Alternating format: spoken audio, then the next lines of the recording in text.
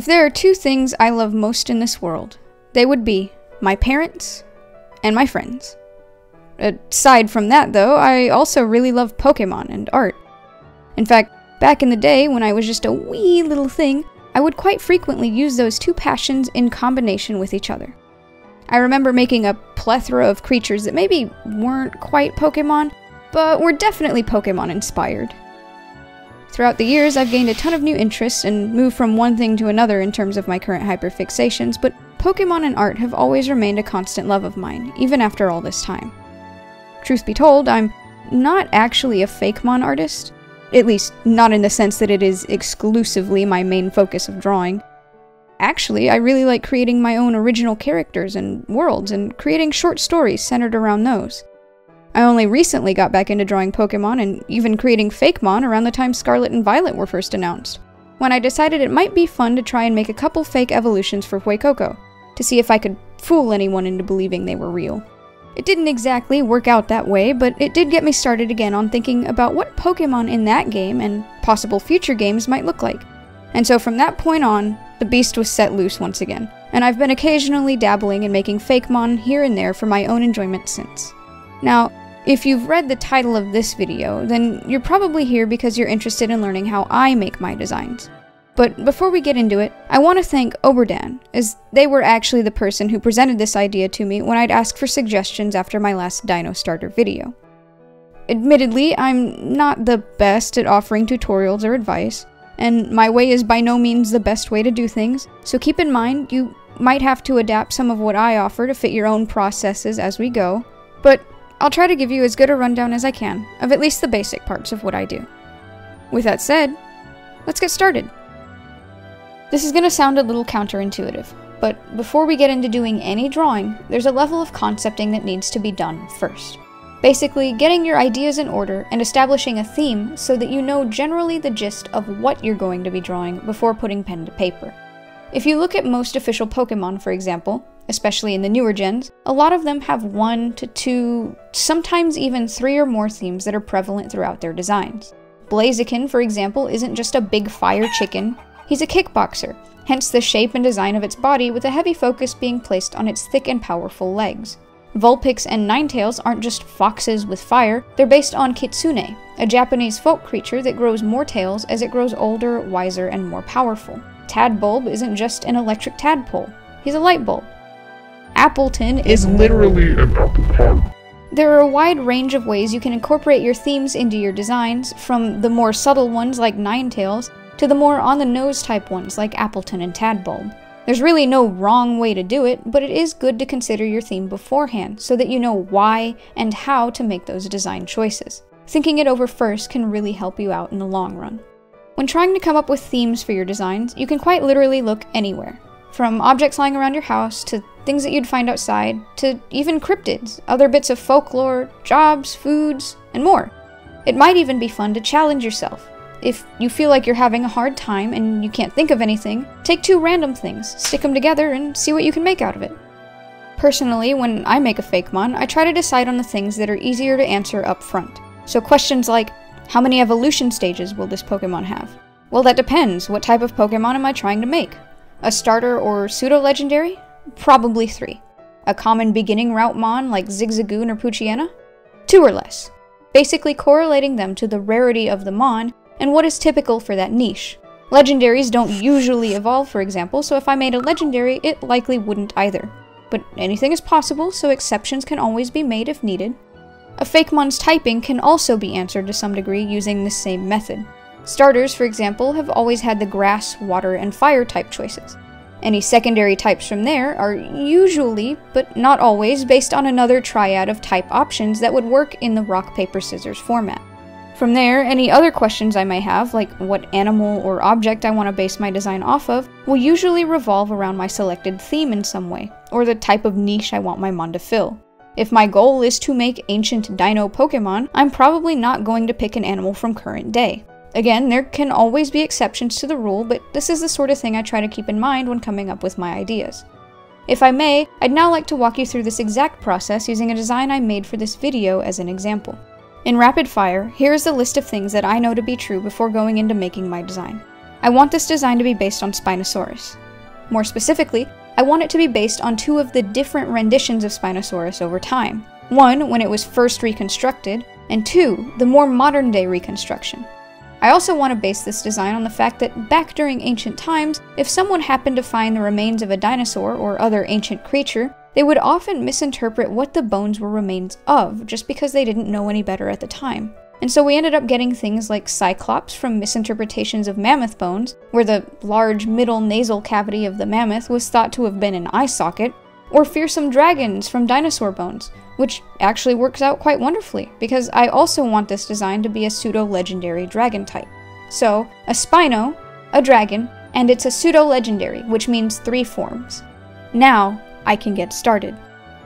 As I get into sketching, another little tip I can offer is that it might be easier, especially if you're doing a multi-stage design like this one, to think about the last stage and what you want it to look like, and then build your primary stages off of that, all the while simplifying them down. The beginning stages of a Mon are usually simple and cute, with much smaller bodies and more chibi proportions, and the theme may not be as prominent in them when compared to later stages, which can grow more complex and lean harder into it. Rowlet is a very good example of this, because it looks just like a little leaf owl, but as it evolves, it steadily grows into that archer theme. First with Dartrix and the dart feathers, and then finally with the arrows and Robin Hood design on Decidueye. I know I want my final design to look the most like a dragon mixed with the current rendition of a Spinosaurus. And I want the first stage to look like the very first rendition of a Spinosaurus as it was thought of in the 1900s. But any additional details aside from that should be kept simple and cute for the baby form. I'm going to go ahead and start with designing the last stage. Usually, I work on my laptop in Photoshop, but this time I decided to give Procreate on the iPad a try, as its time lapse feature lets me work intermittently, so I can take breaks to sleep, eat, and do my daily duties between drawing. Typically, I use a hard round brush that I customize to have a slight jitter effect so that it gives off more of a pencil drawing feel. And I try to keep it set at a smaller size, like around 6 pixels or so. But when I imported my brushes into Procreate, they ended up turning into more of a binary pixel type brush. If anyone knows why that is and why they no longer act like they do in Photoshop, I would love to know how to fix that. Regardless, though, if you're doing this digitally or with pen and paper, the drawing process itself should be largely the same. It took me quite a while to get the design for this stage nailed down, and you can see it here with how many times I erase and go back and erase again. There actually were other attempts even before these, but they didn't make it into the final time lapse. I want to largely make this design based off of the modern Spinosaurus, but I do take a few creative liberties here and there, like splitting the signature sail into two large dragon wings and making its body built more off of simple condensed shapes as much as possible, since a lot of Pokemon tend to be more squat or compact as opposed to long and more naturally proportioned. For the final stage, I also end up redoing the pose so that it's roaring with jaws open wide, because I want it to show off a bit more of that ferocious nature and posing is a very good way to get across a particular attitude or express certain emotions to the viewer. For example, if this design was meant to be more of a sleepy little guy, then I might have drawn him laying down and dozing off. It's also important to try and find a balance between a pose that shows your design clearly and that conveys the emotion you want clearly. If you'll notice, a lot of Pokemon sprites and official artwork tend to go for poses that show the most of the design while also clearly expressing emotion. You won't see a lot of Pokemon with wings or limbs that cover their bodies, or Pokemon that are facing away from the camera unless that's part of their design scheme. Like Mawile showing off its hair mouth, because they want the viewer to be able to clearly see the most important parts of the design without covering them up or hiding it and making it unreadable. With the final stage sketched and lined, I move on to the stage 1 design. I try to give it more of an upright posture and a blunt carnosaur like head, as opposed to the Spino's elongated snout as well as removing the flat ridge shape from the end of its tail to give it more of a basic lizard tail shape, and giving it the rounded spine from older depictions of Spinosaurus.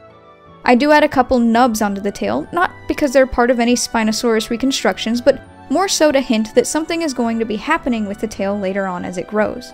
Again though, I'm also trying to keep the design simple, cute, and compact to really drive home the fact that this is still just the baby stage 1 form.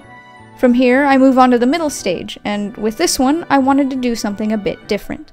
I could have done an in between stage using one of the more recent but not modern depictions of Spinosaurus, but I felt that the design would have been too similar to the final form. After all, some depictions of prior Spino are practically the same as the modern day one, just without the paddle tail or with a different shape to their spine. Sure, I could have done it anyway and given it an in between stage like Gabite is to Gible and Garchomp, but I wanted to try something different and do a bit of a callback to something that Pokemon hasn't done in a while with their pseudo legendaries a pupal stage, like Pupitar and Shelgon. Or at least my version of one, and so I curl my tiny guy up into a ball and stuff him inside a sphere so I can ponder over him like the wizard I've always wanted to be. I elected to go with the pupa stage idea because it's one that is just overall really fun to me. It's like your little guy goes into a box and you don't know what you're going to get out of it until he finally evolves. A little surprise, and the lack of any strong indicators from the middle stage makes it all the harder to guess what the final result will be. Next, I begin the coloring stage. And if you're going to be drawing on the computer, I can give you a really quick and easy tip for filling in the base color of your design. When I do my line art, I put it on its own individual layer separate from the sketch and background layers. When it comes time to fill in the color, I'll take the Magic Wand tool, or in this case the Select tool in Procreate, and select the entire area outside of my line art. Hopefully when I do this my line art is entirely enclosed and none of the selection leaks into the inside of my lines, if it does, then I have to go around and find the opening and draw it closed. But once I have the outside selected, I'll make a new layer underneath my lines and flip the selection to inverse. In Photoshop, you can do this by going to Select and then Inverse in the menu bar, or using the associated keyboard shortcut. In Procreate, you just hit Invert Selection. Then, with the Fill Bucket tool, on the layer that you made under your line art, simply fill in the selected area. This should fill in all of the area underneath your lines, and from there you can alpha lock the layer if you're using Procreate, which won't let you color outside of the fill, or on Photoshop, press the little button to Lock Transparent Pixels. This should keep anything you color over that locked within the confines of the shape you just filled. For coloring details that I want to keep separate from the base, if I'm using Photoshop, I'll simply make a new layer over the base layer and set it to be a clipping mask for that layer which allows me to color on the clipping mask so that the details remain separate without going outside of my predefined base shape. On Procreate, I believe I just made a separate alpha layer. As far as colors themselves go, this isn't a hard rule, but it helps sometimes to try and pick colors that are based on the typing that your Fakemon has. A lot of grass types, for example, are majority green or yellow, with occasional other colors on the flowers. A lot of poison and ghost types are purple, black, gray, or other darker colors. A lot of fire types are red or have red on them. Electric types are often yellow, blue, black, and the list goes on. Again, this doesn't always have to be the case, and there are exceptions. I mean, just look at Palkia or Flygon. But it is true for a lot of things, so it might be helpful, if you're stumped on colors, to think of something with a palette similar to its type. It's also important to note that when deciding on markings, try to keep to simple, flat colors as much as possible. Try to not use gradients, or if you have to, keep them to a minimum. Pokemon designs often don't use gradients because they have to keep the characters simple for animation, in particular when doing the anime. Gradients are often hard to accurately reproduce in animated media, and can be time consuming to work with the more of them that you have on a design. That isn't to say Pokemon with gradient colorations don't exist, but they're still in the grand minority of designs, and you'll see a lot more Pokemon with gradients that have been simplified to solid color transitions in order to achieve a similar effect, like Hisuian Zorua or Zoroark. For my design specifically, I decided on blues for the wings and tail, which are intended to be made entirely out of water, and browns for the body. I figured this would be one of the times an exception to the rule was okay, since a lot of dragon-type Pokemon don't seem to have any one particular color theme, and can tend to fluctuate from colors that match with their secondary typings to colors that have nothing to do with any of them. In this case, the brown is being pulled from the black-tipped reef shark, another aquatic predator that for some reason came to mind while I was drawing. For the most part, I try to keep my colors and markings simple and stick to methods that appear in official Pokemon artwork. However, I do add my own spin on things here and there, like on the watery parts of this design, where I've colored them in a style that is more similar to my usual one rather than sticking to the way the Pokemon style would have done it. As an aside, if you ever aren't sure how to draw or color something, and you want to make it look convincing for the Pokemon style, it is 100% okay to use other official Pokemon designs for reference. Look at them, break them down, and try to figure out how and why they made something the way they did.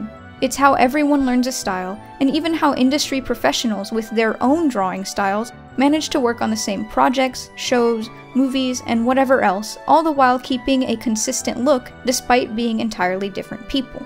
That isn't to say copy something one to one, but really try to look at and understand it so that you can apply the same techniques to your drawings. Again, you don't have to, but if your aim is to make something that is convincing, then it might be a good idea to practice and study those things. My aim here is mainly just to have fun, so I stick to it where I can, but may dip back into my own style every so often just because it's more enjoyable for me in the end. Finally, the last part of my coloring process is to add the shading.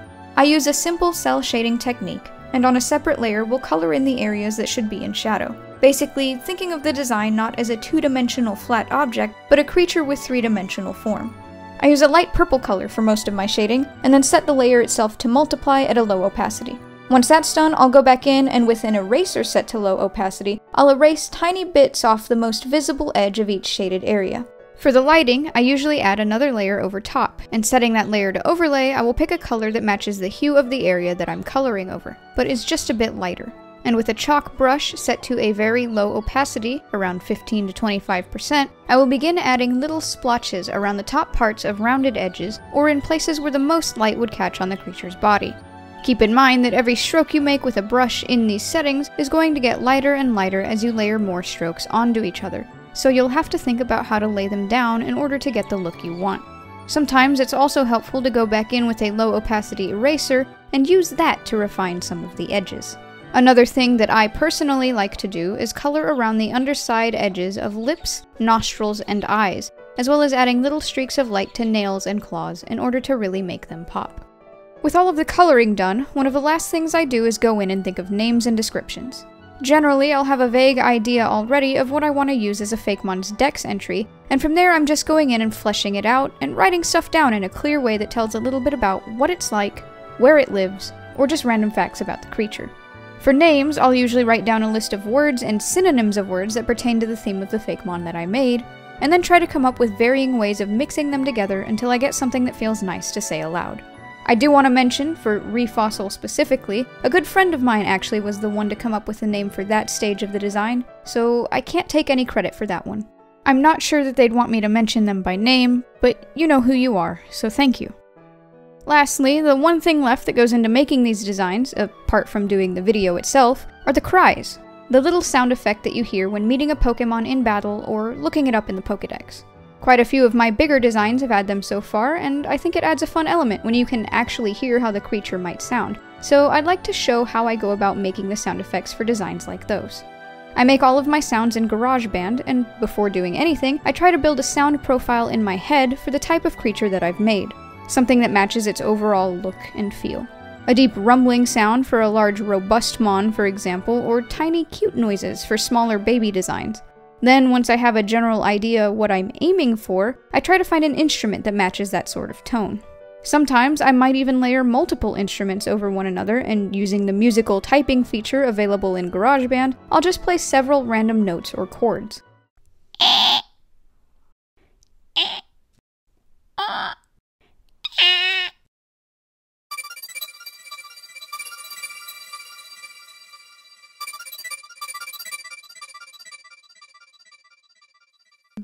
Blub blub blub blub.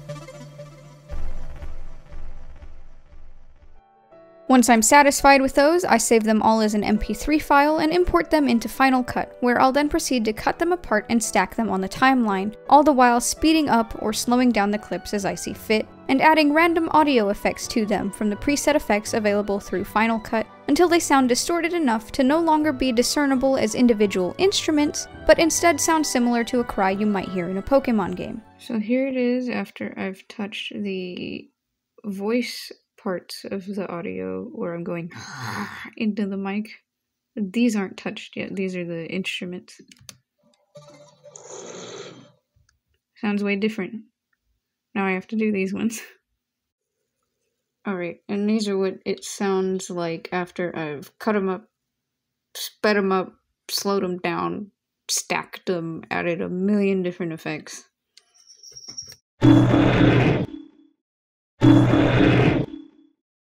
Here's a little bonus because I like this one a lot personally too. This one started out as me going blue blue blue blue into the mic.